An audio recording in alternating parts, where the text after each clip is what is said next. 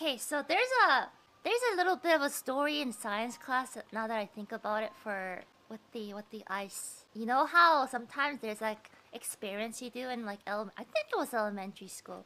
So our assignment or I guess competition was to melt the ice as fast as possible, faster than anyone. And he did not tell us that we couldn't do like anything uh, to it, right?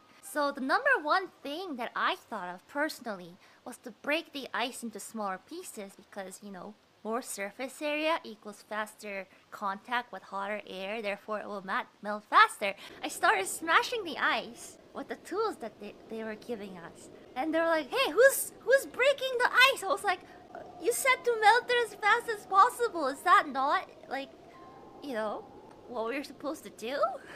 So I got in trouble for trying to do the most right thing to do in that situation, which, which was to, you know, I mean, increase the surface area so that you could you could melt the ice faster.